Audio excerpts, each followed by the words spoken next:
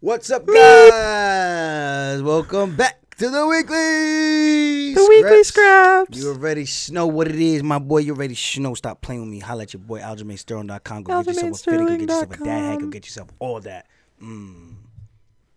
Did you like my little? Nah, that was weird.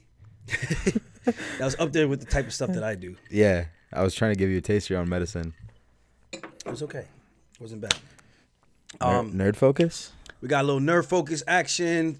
As always, guys, you know this podcast is powered by Nerd Focus. Stop playing. If you haven't tried it yet, go try it. This is calories, zero calories. This is my favorite guy, especially right now because Sean said he's eating all these big meals and I can't eat Yeah, as what- much of bigger meals as he can eat. What Bro, was that about? You think he? That, that's his shit talk, bro. He's trying to It's get a in your head with that. It's a sad shit talk. And if this is what we've come to from Conor McGregor reincarnated, oh my goodness. Someone please save us all. dude, Save us. you put out like a video like trashing his entire existence as a fighter, And and then his weight. response was, "I just had a big meal. What'd you eat?" Can't make this up. Do you think he's intimidated? I think he's afraid. I'm gonna give you guys the goods right now. Let's go. I think Sean jumped into my cage barking and bit off more than he can chew. And that's my honest assessment. I think now he's kind of nervous about having to eat his own words, so he doesn't want to say anything that he's going to actually regret saying because he thinks Yeah. people are going to make fun of him, um, comment on his page. You see, me, I'm the type of brother, I don't give a shit. I'm going to stand by how I feel. I'm going to say what I say, and because I feel it from the heart, not because I'm just saying it just to say it. And on top of that, it's because I'm from Long Island and I just like to have a little bit of fun. Let's raise the stakes. You want to talk shit? Come to my octagon. You want to talk shit? Back it up. Have you had fights where you didn't talk any shit and then you won? Is any fights that I did not talk shit? Um, Because I'm getting, I have like a major, I have a thing I'm getting at. So I don't have any fight that I can remember off the top of my head where I was like overly respectful and didn't talk any crap at all. Like not like, even what about subtle. what about Cory? Like, I feel like, did you talk shit to Cory?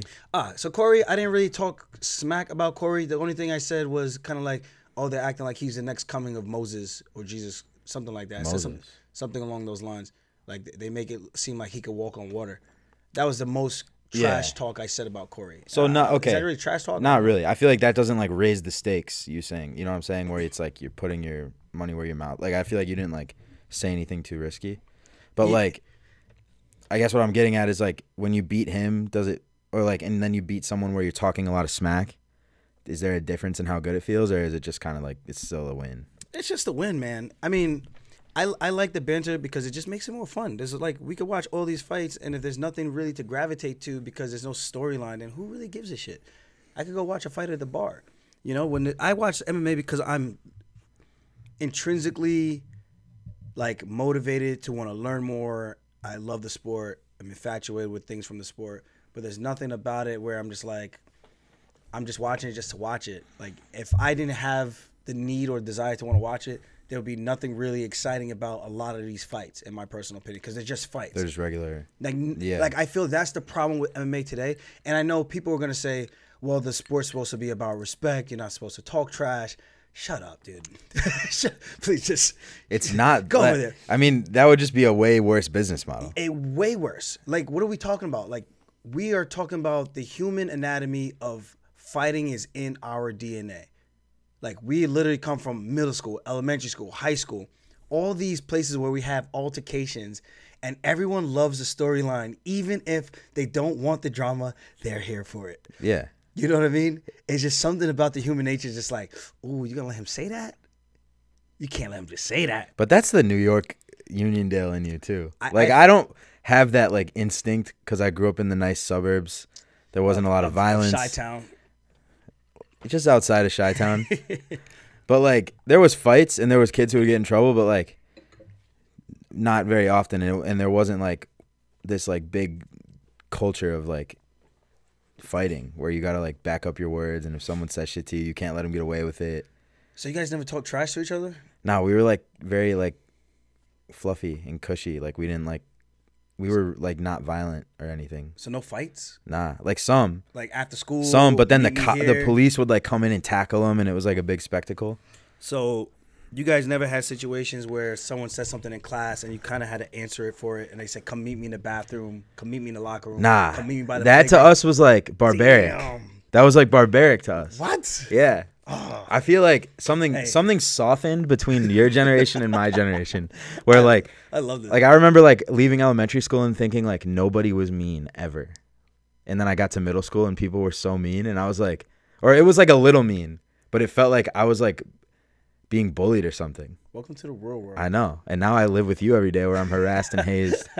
So it's just He's not hazed, No, guys. no, He's I, I'm very happy here. He's not. help he's not haze, guys. Help me. I would never haze anybody. Uh, what are you kidding at? JK, JK. Um, So yeah, Sean's trash talk is it's very mid, and it, I, I wouldn't say sub mid, like subpar from mid. And uh, I'm not saying you have to go and be loud and obnoxious, but it's like you don't jump in another man's moment. Even you can say, "Oh, you," but you called him out, Sterling. You called him out. All I said was, "Sugar, where your bitch ass is at?" Like it's the Funk Master show now.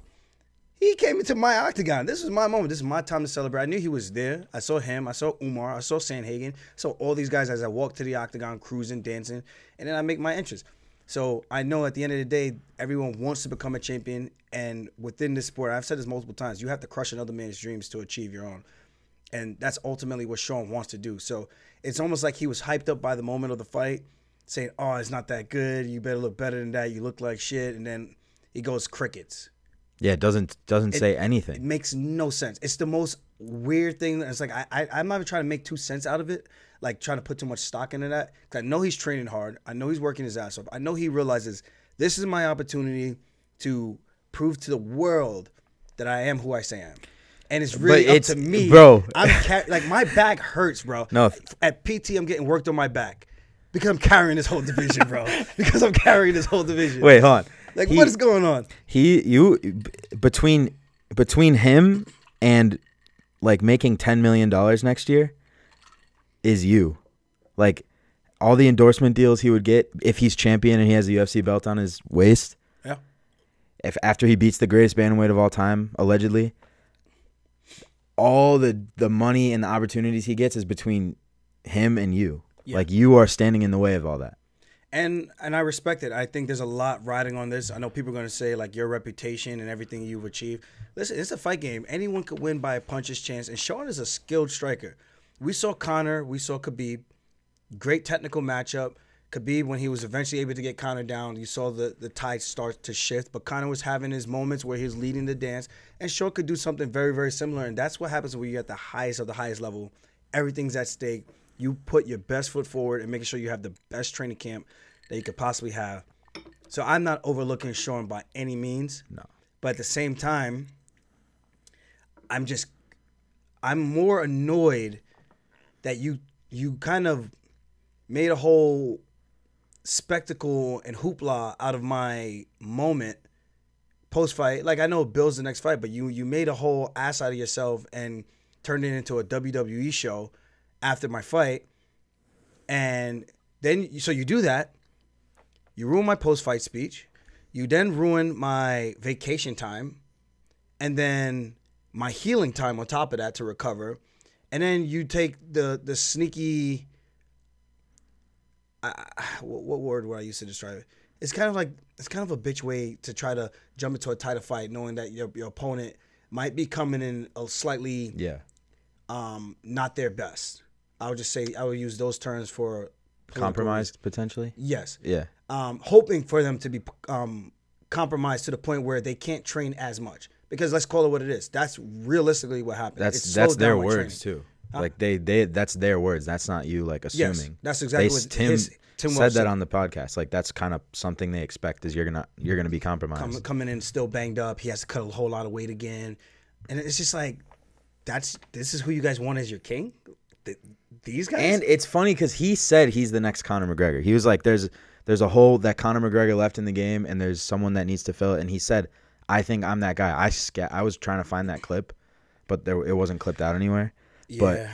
he I- I said saw he said that, and then now he's Conor would never have a title fight. And Conor not- wouldn't. Ne- Conor's next fight isn't a title fight, and you you know he he's already promoting it. He's doing stuff to promote this fight. He did the Ultimate Fighter. You know when the fight get, gets announced, he's never gonna get off Twitter. Like Yeah. that's a real. That's what Conor McGregor is. That Sean is not talking at all. Yeah, it's very uh it's very different. And I'm not saying he's always the biggest talker. Like he makes those clown videos where he go like, if you get into a bar fight, this is what you want to do. You want to push, get away, create space. You want to hit him with the Superman punch, duck all the way down, hit him with the right hand, bend down, come up with the knee, and then chin check. And then he'll do st- like little goofy stuff. And it, some of it's actually funny, but I just don't get. I'm like, do I need to dye my hair, tattoo my face, for for the younger generation to be like, oh, he's cool? No, Like I don't, I don't get it. you don't have to do all that because when you beat him, you steal all that clout, but you didn't have to like hoe yourself out for that. Yeah, you know? my, it's not. I'm not knocking him. What I'm saying is, it's fascinating that he resonates with so many younger folks. Um, but when you ask about like the the mainstream fans, they know about him, but everyone says the same thing. They don't think he's that good. They don't think he really won his last fight. So that narrative, I think for him, kind of bothers him, and I think he almost wants to get this win badly to the point where he's gone radio silent, and maybe that's better for him.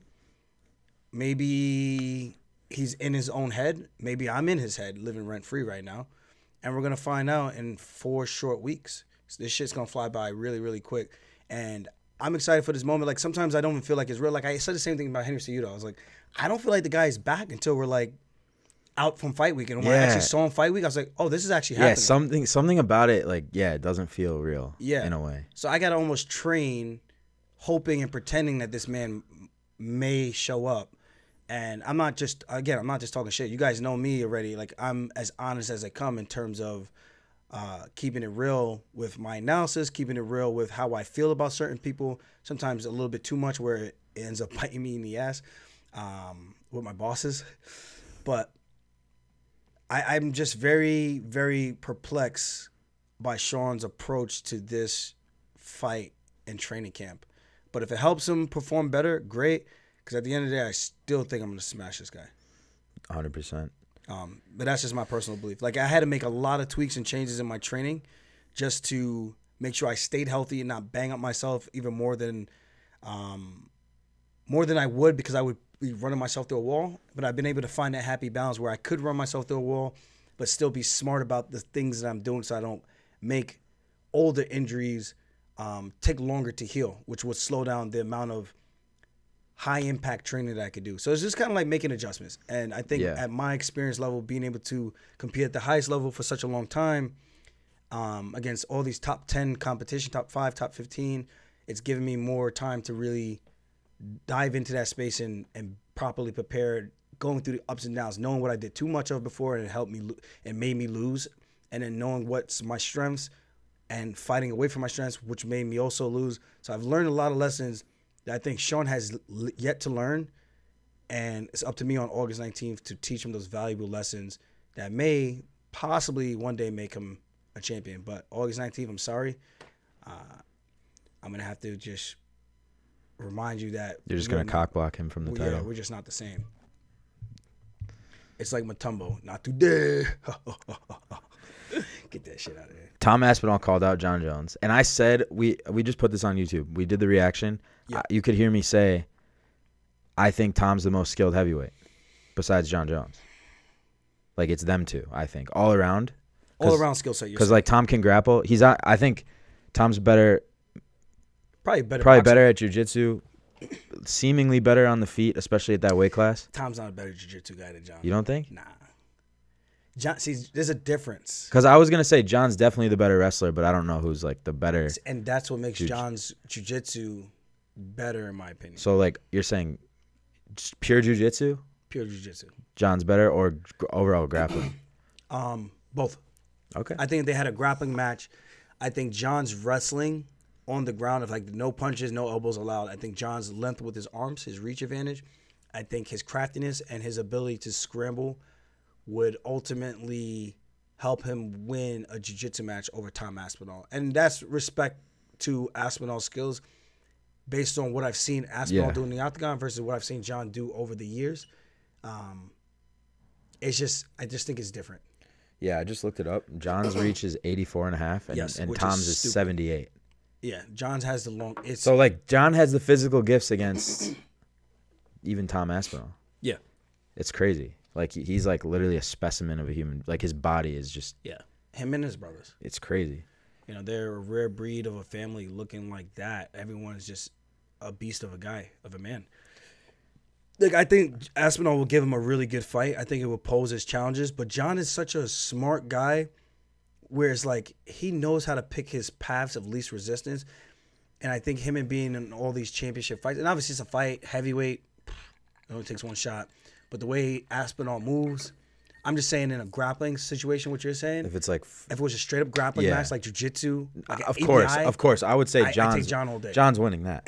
But I'm saying like if you look at like at, I feel like at light heavyweight Jon could do whatever he wanted to anybody in any domain of MMA. Just cuz of like it seemed I feel like he did do that. He has some. He has Jon has some tough fights. Yeah, but like overall like he didn't lose. Like he beat everybody all kinds of different ways. Yeah, And he was like even if there there might have been somebody he faced that was better in one area but like he was better in the other areas. see, I think that's what Jon does better than most guys. His ability to to mix it up as a mixed martial artist, like Gustafsson, better boxer. Um, Glover Teixeira, better boxer. Uh, Vitor Belfort, on paper, a better jiu-jitsu guy, but Jon submitted him. Almost got corner arm bar. That's what I'm saying. his, Like his resilience and toughness and heart pulled him through, even breaking his toe against Chael. It's like he's been in all these tough challenges and it's kind of walked through the fire. And I mean, there was two fights I thought that he arguably lost, or you can make a case for a draw, and that was the Gustafsson fight, the first one, and then the fight with Dominick Reyes, where I every time I watch it and I go back and forth, and I'm just like, Jon, Jon's my guy, so I'm kind of mm-hmm. like I have to, I almost It's feel like I have yeah. to side with him, but I'm looking at him like it's kind of a chance you could, it's kind of an argument you can make that he actually lost his fight, respectfully, yeah. of course. I think the Aspinall fight is compelling because he's pretty all like he's all around really good, like in multiple compartments. Yeah.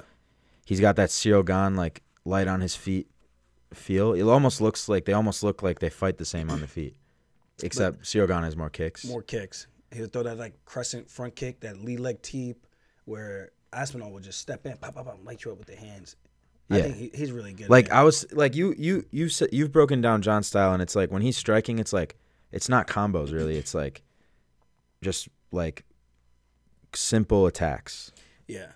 And I'm gonna give you what what I see when I watch Jon Jones is when guys are pressuring him and they're coming forward and they're looking tough and mean, like they want to hurt him. Obviously, it's a fight, and you know, I think Jon does a great job of you know watching his opponents, good eyes, good reads, and he finds like the in betweens where he lulls guys to sleep a little bit with his range because he got such long ass arms, and he could trap you, hand fight with you. Then he'll throw the spinning elbows, he'll throw the side leg oblique kicks, and then they kind of come out of every um, nowhere where it's like one shot at a time, and then he keeps chipping away, chipping away, chipping away. He's not the most explosive guy. He's not the most powerful guy. It's his IQ, where he uses his physical gifts to outsmart his opponents, and for me, that's what wins him the fights. So like with Tom Aspinall, he's he's an actual heavyweight and he's probably the most all around skilled guy at the division. Do you think he has, stands a chance against Jon to actually beat him? I mean, everyone's got to punch his chance, especially at heavyweight. Or I guess a better question would be what what are his chances and like how what how what would his path to victory be? Because of course everyone has a chance. Yeah, his path to victory for Aspinall. So you don't think it's that pot? You don't think it's like you think Jon's I the think it's favorite a, in that I think it's a good challenge for Jon? for Jon. Whether or not Aspinall has the goods to get it done, it's it's one thing when you watch another. It's like Volkanovski.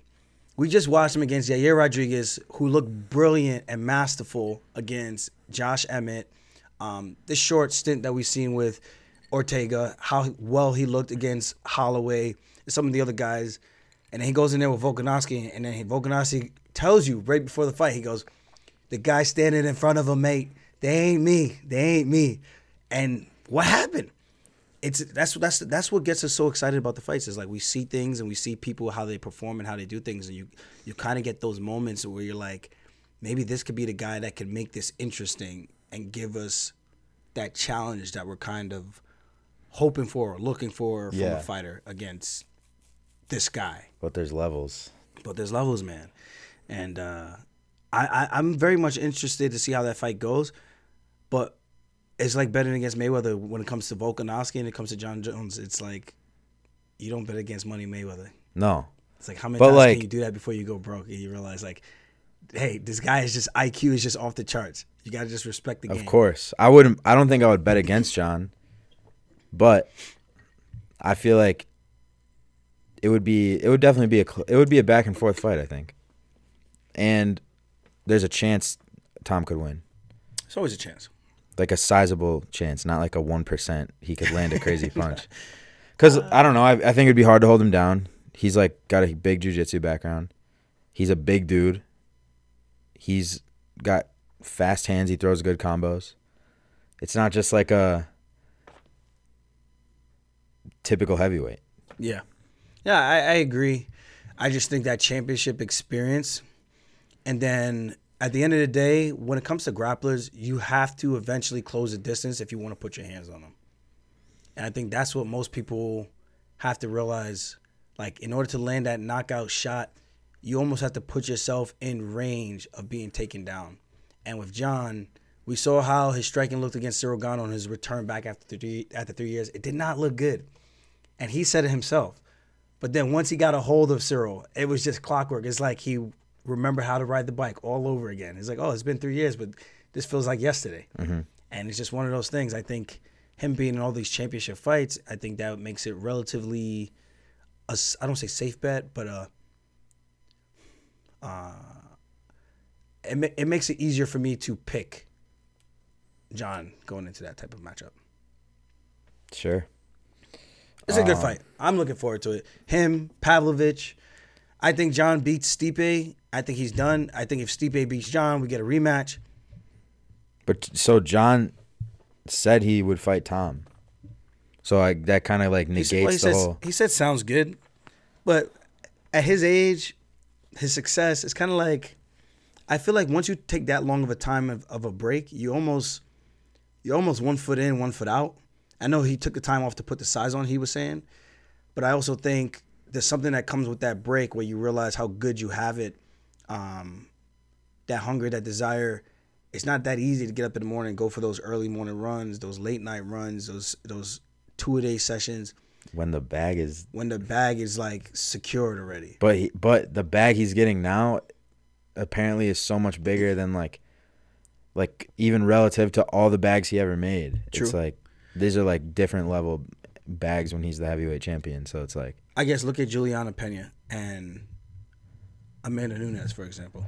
okay. It's like who thought that she was gonna retire after that fight? Like who would have known and guessed that? You know, she, I don't think she's made any hints at that possibly being a thing, other than maybe her, her and her team. Yeah, I could have seen her just being like, I'm gonna keep collecting these Yeah, keep running paydays, it up. you know? Yeah. Next is Julianna. I think I'm gonna beat her too, so let me run it up again.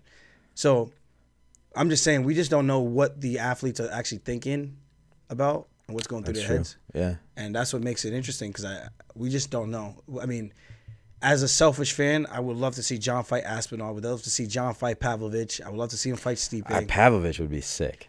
just because he's a marauder. Yeah. But I know if Jon took him down, that I think that fight's over Yeah. That's pretty much anyone in that division. with Jon. Yeah, Yeah. or even Aspinall because he's good on top as well. Yeah. We seen him submit Volkov the way he did, and that was like pretty picture perfect with his technique and how clean it was. But yeah, interesting fight. Good time for the heavyweight division. Yeah, it's it's getting crazy. Um Charles versus Islam got announced. That's official. That's in Abu Dhabi. Abu Dhabi. Oh, I Again. thought Charles was on vacation. I, I- thought Dana said he had to check with Charles I to make sure he didn't have any plans. I guess they brought the bag. See, this is my trolling at its finest. They brought the bag or something. Charles must have healed up. And to now check in he's with his back. plans real quick.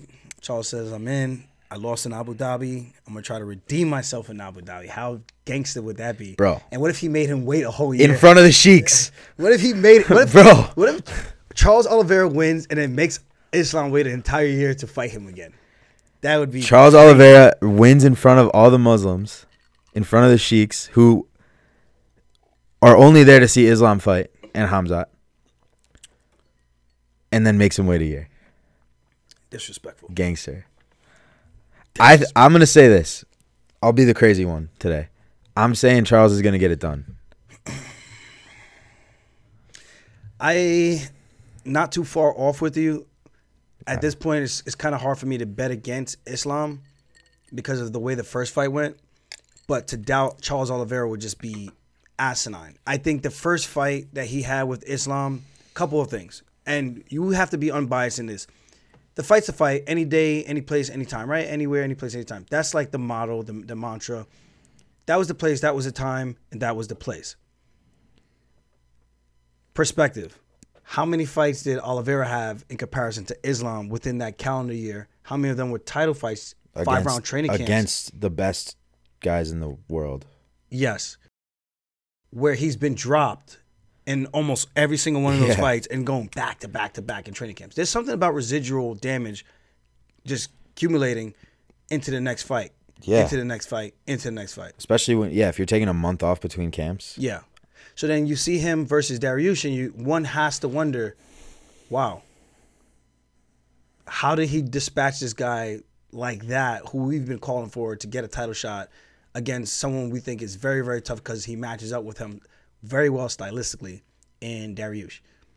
He goes out there. he Dariush see- was the favorite in that fight yeah, too. and he absolutely dogged him. The guy who was supposed to be the guy to beat Islam Yes, just washed him. and it wasn't even close. So that's like a so that's my argument is that's an Islam that's recovered and healthy and had time to chill before that training camp.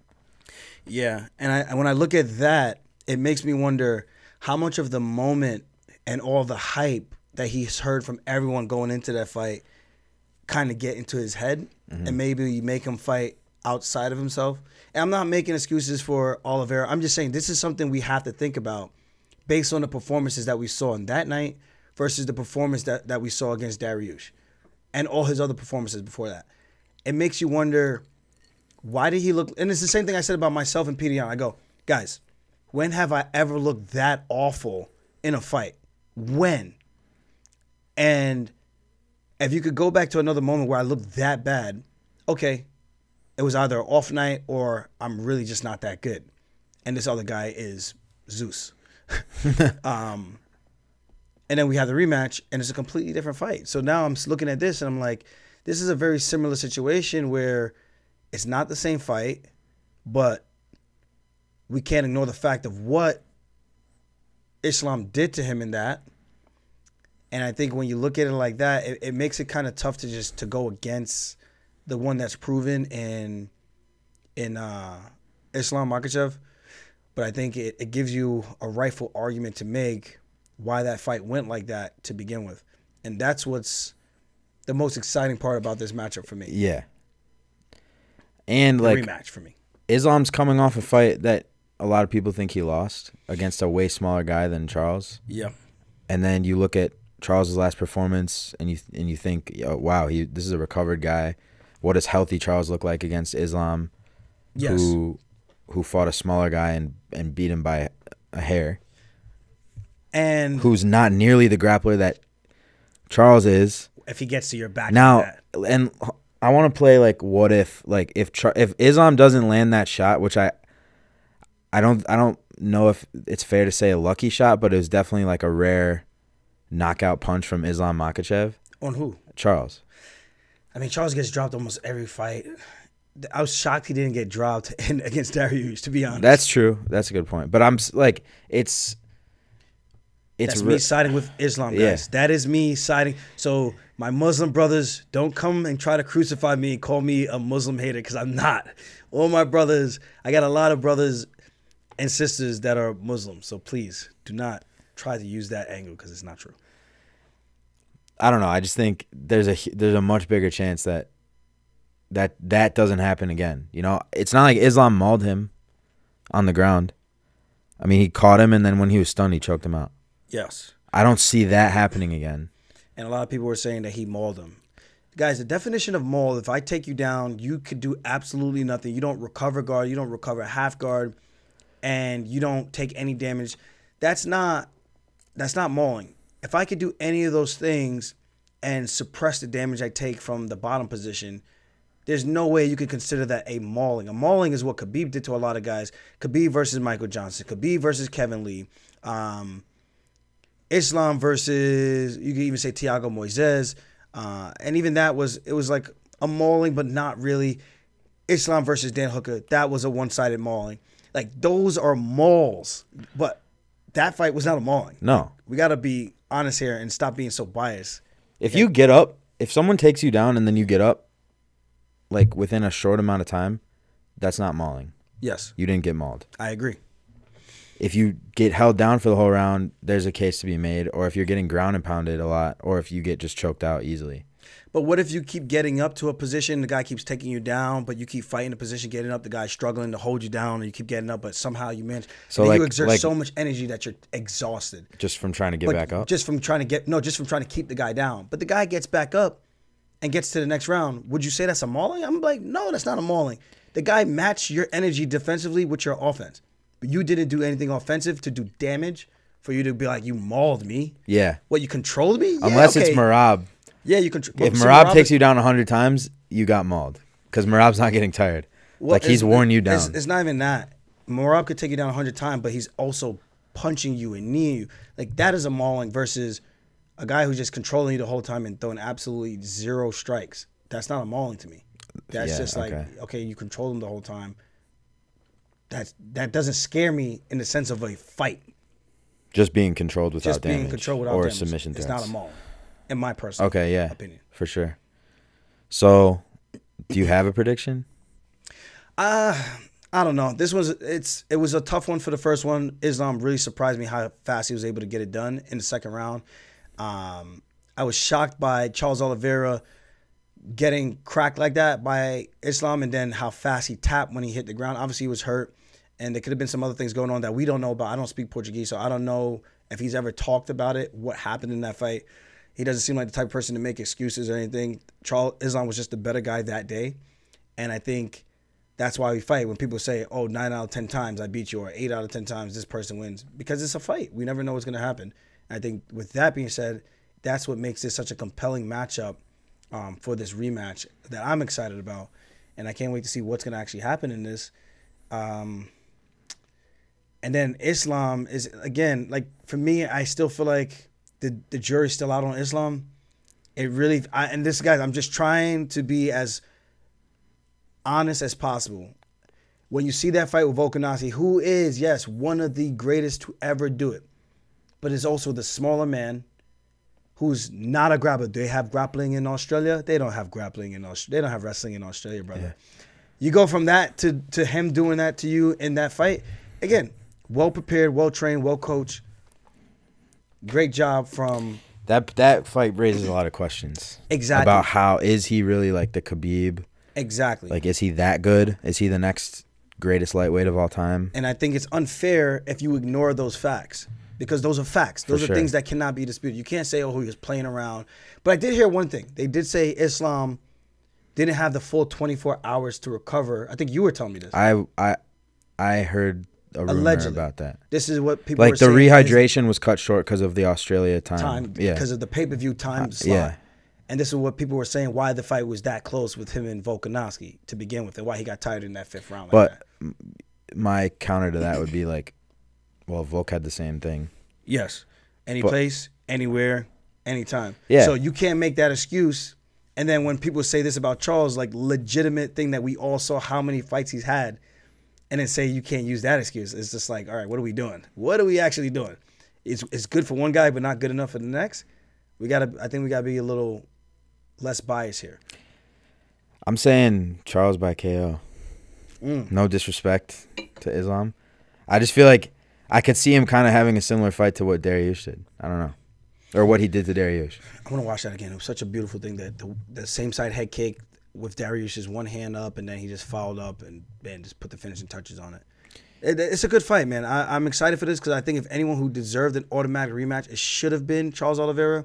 He wasn't given that time. I think he probably just wanted time to reset, and I think it played out to his benefit based on what we've seen in that last fight. I think he came Yeah. in a little bit more fresh, more excited to be back out there. Um, it wasn't like another day in the office. It was like I, I'm actually really motivated and excited to be here again. Yeah. And that that was the the cool part about that fight for me. Um, so yeah, I, I don't have a prediction. I like Islam. I think when he talks shit, it- it's funny, and it's not really like shit talking. It's just him having a good time. I love it. I think it's a it's a great thing for him to start doing and showing his personality. Yeah. And for me, that's cool to see. Um, other than that, I'm just looking forward to a great rematch. I think this is going to be just as good as Justin Gaethje and Dustin Poirier too, the rematch, Speaking of, which is happening this weekend. UFC 291, I'm so excited. a couple weeks away from UFC 292. That's as guaranteed of a banger as you could ever make. Like Yeah. making those two guys fight each other is certified bloodbath. Or someone's getting finished. I think both of them at a different point in their careers, they're still willing to go there. But I think they're both more polished now that that fight's not going to look as much of a train wreck like it was the first time, where they kind of both just came out just swinging leather and seeing who's the toughest man standing kind of thing. I think both of them are going to come in with a more technical approach. It's still going to be haymaker and, and leather being slung like, but I think both of them are going to be a little bit more methodical in their approach. I don't think Gaethje's going to come in just winging leg kicks like he did before. I think he's going to be taking his time, using his jab, trying to measure his distance to really land those strikes and make them count. Where in the last fight, the biggest thing that he landed was the calf kicks. And I felt Dustin did a good job of countering up top and mm-hmm. going to the body and countering up top after that and kind of evening the score versus the calf kicks, where he was like, dude, he's going to kick my calf. I'm going to deal with it later in the hospital or wherever it is. Yeah, like he just like ignored the pain for a little while. Yeah. Like he made peace with that. And I think when you fight a guy like that, you have to make peace with those type of things because if you don't, you're gonna end up in that dark place where you're gonna be so uncomfortable and not knowing like, am I really ready to go through this fire? And only you can actually answer that question. So I feel like in since that fight, I think they're both four and two. Yeah. Since that fight. They almost have the same identical record. and it's like the same guys they fought. Yeah. So, but I feel like the guy who's made the most like visible changes to his style is Gaethje. Yes. Like he's like toned it down a lot and like become a lot more methodical. I feel like, where Dustin, I feel like he still has been in like more wars and like still like the physique fight. yeah, but that one he like I feel like Gaethje like took a step back from like making just like going crazy, you know. Yeah, yes like he no. he put on like a more technical performance. But you know, of course, but Like, he took some adapted. he took some damage For in that sure. first round. Where I was just like, holy the fact that he was able to eat some of those kicks and so I'm like, dude, you hit me like that, I gotta go to the trunk, brother. I gotta go to the trunk, like come back and like you stay right here. You kick me like that, bro. I'll be back one second. And just, just hang tight. You know? Crazy fight. Yeah, but I feel like that fight was a good example for Gaethje. Like, he, Growth. Yeah, That one, Tony Ferguson, he showed a lot of growth, he showed a lot of discipline. yeah, Trevor Wittman takes him off of the punches. You don't have to kill every shot. Taking his time, use the jab to get inside, lining everything up. yeah. Like Gaethje's shown that he's like matured. I feel like as like he's not just going in there to like brawl now. Yeah. And I don't think Dustin was like he can brawl, but I don't think he was known for being like how Gaethje was, like a brawler. Nah, Dustin's not. Re- I wouldn't call Dustin a brawler. I think he's a, just a technical badass. Like, for me, the way I perceive Dustin Poirier is, he's willing to go through that fire to put hands on you. That's just that's just the best way I can explain it.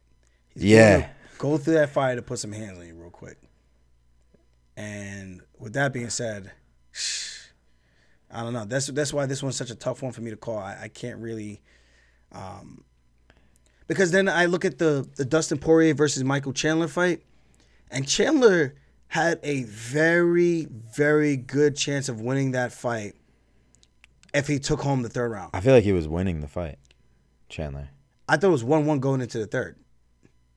And then, but the the up until the submission, he was winning the third. I felt. Up until the takedown where he got reversed Yeah, is when he was winning the fight. I thought. yeah, and not by much. I'm not saying he was it- killing Dustin Poirier in the third round. I'm saying it was a very close fight. Dustin showed his grit, showed his fight IQ, superiority in that fight, and Chandler made one mistake, Again, overzealous with the takedown. I actually did that just this past Thursday when I hit the takedown and I hit a big takedown on Javid. Like I, I didn't need to make it such, such a big impactful takedown. I could have nicely put him down and then stepped over the legs and have a much easier position. But I was like, let me see what would happen just because it's training. I'm like, let me just see what would happen if I get into this position. I go, yep, exactly what I thought. You kind of lose the position within a couple of seconds When you slam. when you slam because there's there's a lot less control Yeah. for whatever reason. And yeah, so that's what Poirier did. Used the position to his advantage, got the reversal, put on the finishing touches, and got the job done. And I think he just showed his superiority with his, um, with his boxing and his just fight IQ overall. Yeah. So I mean, I guess did did Gaethje? do you think he's improved enough to close the gap and get the win? That's why this is such a good fight, man. Yeah. I, I really can't call it. Um, and again, I, I see all these guys all the time, and I'm never one to bet on fights, so I try not to do that. I, I only talk about the, the stuff that I see in fights and what I think can be their advantages and keys to victory. So I want to make sure I always disclose that whenever we are doing these analysis and breakdowns. Like, I think Poirier is a better boxer. I'm gonna just say that straight up. I think Poirier is a better boxer than Gaethje. I think Gaethje might hit harder than Poirier because the way he sits into all his punches, I think he hits harder. That's just my personal opinion. Um, I think Dustin's a little bit more accurate, but again, I think Gaethje has shown the growth, like you were saying, in his previous um, fights that he's had of late, and that could also prove to be a difference in this fight as well from the first fight. Yeah. I I don't know how to predict it. And um, this, the cool thing about this fight is it's in Salt Lake City, UFC 291, um, the rematch, Justin Gaethje versus Dustin Poirier 2. This is going to be a great fight. And I partnered up with DraftKings to let you guys know if you use my promo code ALJO and bet just $5, you can win $150 in bonus bets. And guess what? You get it instantly. Instantly, No people. way. Instantly. Instantly. No cap. I can confirm because I did it. Yes. Oh, you did? Yeah, I did. Ah. I used your code. Got 125. What 120? I got. this one's $150. Yeah, I got. in bonus I got six twenty-five dollar free bets, and I made money. in bonus bets. Yeah. Let's it's like, see. but they break it up into like six twenty-five dollar. Bonus bets. Fra- yeah, Let's see. That's what's up, guys. it's sick. So I'm just saying, if you wanna, you know, go out there and test your luck, see, put my knowledge to the test. Go out there and use these bonus bets. Use my promo code ALJO. Tell them I sent you. You download the DraftKings Sportsbook app now, and go, go collect them dollar dollar bills, yo. Code Um, Aljo. Cheers. Code ALJOs. Yahtzee. Nerd Focus. Um, speaking of UFC 291, is it 291? Yeah. Yeah. So the next fight is also a title fight. It's Blachowicz versus Pereira for the UFC light heavyweight title. Um, I have no idea how that fight's gonna go. Me either. Uh, you look at Blachowicz's last fight with Ankalaev, and that fight was just weird. but we know one thing. I can confirm that Blachowicz has shins of steel. The way he was just kicking Ankalaev's leg. If another man's willing to go shin to shin with you and just kick your shin, doesn't care if you check it or not, run. Dude. that ain't making no sense, bro. Also, like I saw a compilation on TikTok of Blachowicz's leg kicks on Ankalaev. It's like they knock you over. Yeah, Like they collide with you like a train. These aren't regular leg kicks. yeah. I'm interested to try that with Sean. Interesting. To go shin to shin and see whose whose calves are smaller. His are like this Who's thing. a more razor sharp? I can fit my nose. Probably. Give me your ankle. I, I my my question is like, can Pereira's power translate up to a guy like Jan Blachowicz? Yeah, I think the way he sits into his punches, I think having the body weight behind him, not having to cut down as much, could be to his benefit. And I think when you know how to punch, you know how to punch, man. He's not the most technical boxer. We've seen these videos floating around on YouTube on my explore page, seeing clips of him boxing, like the guy hit popping him with the jab, popping him with the jab, and then he just puts on these left hooks that we've seen him sleep many of people with, and it's just nasty. Yeah, It's just if he hits you, man, it's just like these guys just go down. but he's also fighting a guy that puts people down with the Polish power. Yeah. But we also saw his last fight, which was a really, really weird one to watch. Which one? Ankalaev. That fight. Yeah, that was a weird one. That was a really weird fight. A draw. Um, I'm not saying anyone won or should have lost, but it was just a weird fight. And when you have a guy who hits the way that Pereira hits, I don't think he's looking to come to grapple. Think he's looking to take Blachowicz's head off, like he does just about everyone that he comes in there to fight. But like, I feel like Blachowicz could do to Pereira what he did to Izzy to secure the fight. Cause, cause there's probably Oh, with the grappling? yeah, like just take him down, hold him. Like there's always that that he could do. Yes. But here's my thing. I think Pereira is a bigger man than Izzy is. I think we all seen that when they stood next to each other in, in the octagon. But like I'm bigger than you, but you could still take me down very easily because you know how to wrestle, and I have zero res- like wrestling at all. yeah. But I'm pretty sure he's putting in some time. I mean, after all these years with Glover, I'm sure Glover can walk him through some of those positions. I'm not saying it's going to be easy. But it's it's also Glover's not really a wrestler, he's not. so it's like But he's got good jiu-jitsu. Knows Yeah. how to use his guard. Knows how to use butterfly guard. Knows how to sweep guys. yeah, maybe he taught him how to get up and stuff, Yeah. but it's not like he's gonna be teaching him like how to really beautifully defend a takedown or And I gotta watch that Izzy fight again with Blachowicz because I think he held him down and Izzy didn't really do too much to get back to his feet. Where I think Pereira might be a little bit more active if he gets taken down. I think that could be the difference. I'm not saying he could hold him down the way he held down Izzy, but there's also a chance that if he's a true 85er, that Blachowicz might just be a bigger man. But I know Pereira has a huge head, big ass fist, and he's got a really good jiu-jitsu guy in his corner. And Glover Teixeira, former champion, I think that makes everything very interesting to see what type of work. If I'm them, I'm looking at the Izzy fight, seeing what Izzy did wrong, why he couldn't get up, looking at those positions that he held him in, and reviewing those positions, and I'm rinsing, repeating, rinsing, repeating, even if it's not live, live drill, live drill, and just getting those reps in day in and day out to make sure that you're improving in those positions. I'm not saying you got to do it every single day, but at least three, four times a week. I think that's gonna help you catapult that uh, experience and comfortability in those sequences where if you get there, you're gonna be like, oh, I feel like I've done this a million times already. for sure. Um, if if Pereira does beat Jan, does that warrant a fight with Izzy to come up? Like, does Izzy does Izzy have to go up and because it's like another one up? Like Izzy couldn't get the 205 title, but Pereira could against the guy who beat Izzy at 205. You know why it's funny? Because it reminds me of that picture. Um, they're like, uh, Pereira is golfing now. Then no, um, Izzy's golfing now. Pereira shows up on the golf course like, hey, anything you do, I can do better, kind of thing. Yeah, like he goes everywhere Izzy goes. yeah. Uh, Because that would be like, that would be like, I'd be a little annoyed. but you have you kind of have to go. I'd be a little annoyed though. Because somehow this became a title fight.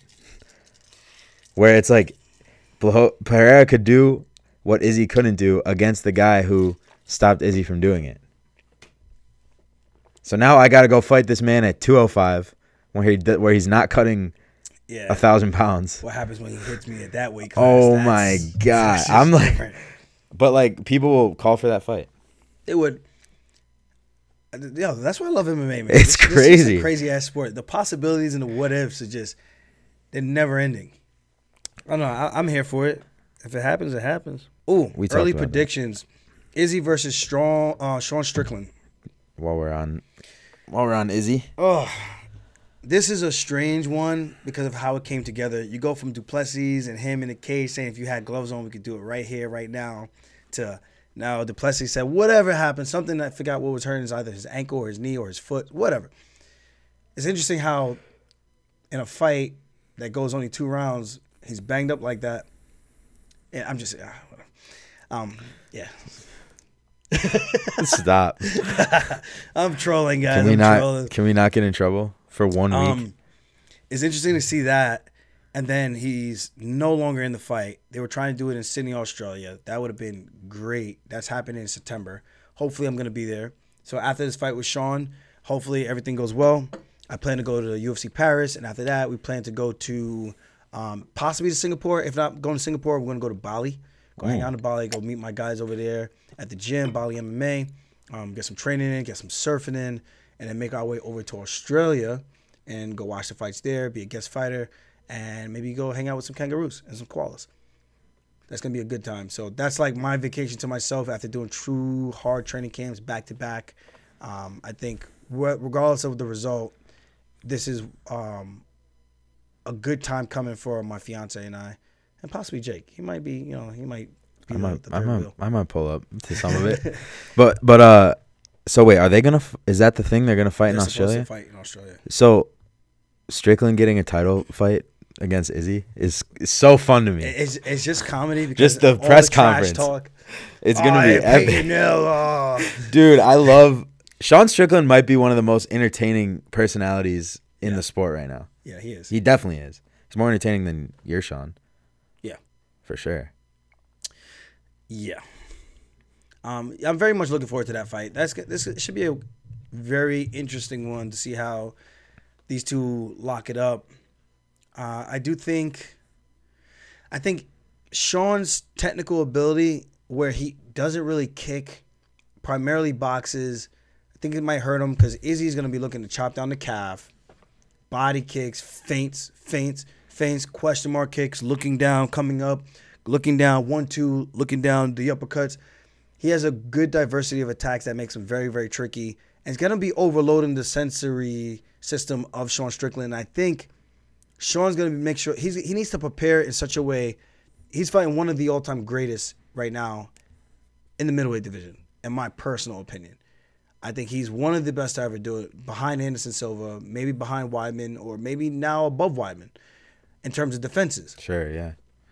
and in terms of craftiness, youth still, um, storylines. Like there's just everything about a champion that you want. This man has it in Izzy. Yeah. So I'm very intrigued to see what Strickland's approach is going to be and how he's going to handle the diversity of the attacks of a guy like Izzy, and who in the gym is going to be able to mimic or give him those type of looks. They, they're definitely going to have to bring somebody in, uh, maybe a couple of bodies. Strickland has a gas tank. I think that's one area that can actually help him in this fight against Izzy. Um, I think it's a tough fight, and uh, I, I'm I'm looking forward to it. This is a great opportunity for Sean Strickland to elevate his profile even more. And we all know he's about doing the man dance. Ah. So we'll see what happens in this one. If he's gonna do the man dance with a guy like Izzy. Yeah, I think Izzy's definitely the favorite, but I don't know. Sean seems to have a way. He just keeps winning. Mm-hmm. So yeah, I guess we'll see how it goes. Yeah, I'm looking forward to the fight. I think it's gonna be good. Um, Definitely. any other? I might go to UFC, UFC Nashville. I'm undecided. I'm on the fence about it. What's that like? August 5th.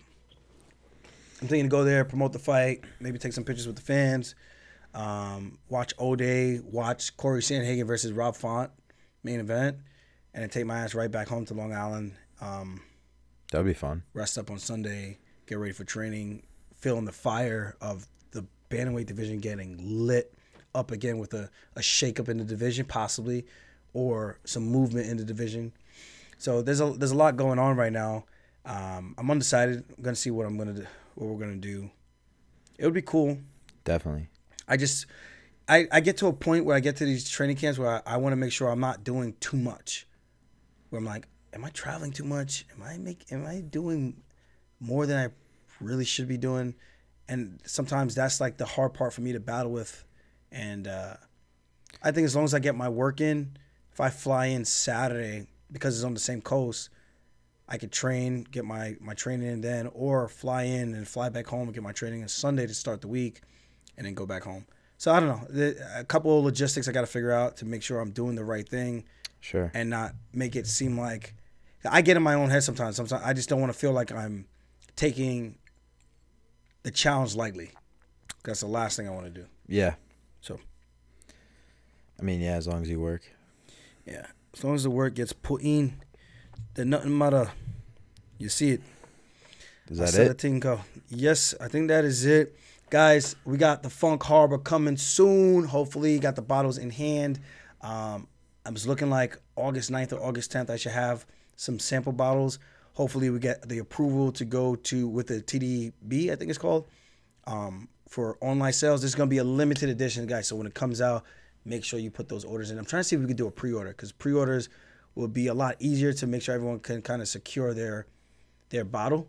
Um, I'll let you guys know. I'm gonna figure out with these guys this week um, some more of the logistical details on that before we figure. I guess before we figure out everything else, these guys coming over from the UK with the bottles, and I'm just very excited to let the world taste this and introduce them that rum is not just for the island and vacation, man. It's an everyday drink, man. It's one of the one of my favorite choices of spirits to have. Drinking it right now. That's the that's one of the simple bottles. Yeah. On the rocks, no chaser. Very nice. Very good. Yeah, I'm just This drinking is- my nerd focus. This is my stuff. Um, other than that, thank you guys for tuning in. Um, I dropped a couple comments for the last pod that we did, the reactions that we did yesterday. Uh, I hope you guys, if you like this shit, subscribe to this shit and hit the spinning back fist. Pow, pow, pow. Also, subscribe to the weekly, the weekly scraps. Check out that. The weekly scraps is going to be posting a lot of the clips. Um, We're two subscribers away from getting monetized. oh, even better. Actually, now we're one. One subscriber away. So go subscribe to the Weekly Scraps Media on YouTube, and then we can make more money as a team. team effort. Uh, yeah, yeah, we're coming up on the fifth anniversary for the show too in December. I want to try to do. I want to do something cool for that. So we'll That'd see. be dope. yeah, it's when after Al fought Kevin Lee and he won. I think I started the podcast like the week after. Like, did you interview him or something? Oh, okay, just talked about the fight. bro. We could definitely do something huge for that. Yeah, and next I want to. I'm gonna bring on Jason Griggs. Spoke to him earlier today. Came to the house, and we're gonna do a real estate podcast to give you guys some ins and outs, some things that you could do if you're looking at Airbnb, cash flows type of scenarios, um, long term holds, um, short term holds, short term rentals, all those type of things that you're looking to do, um, possibly in your area or possibly here in Las Vegas. So I can't wait to bring Jason Griggs on. He sold me my house here in Vegas. He sold Merab his house here in Vegas, and sold a couple of my other friends' houses here in Vegas. One of the best realtors out here. We'll go to bat for you, and uh, just an all around good guy. And of course, he's from Long Island, so what's better than that? The goat. Other than that, see you guys next time. Peace.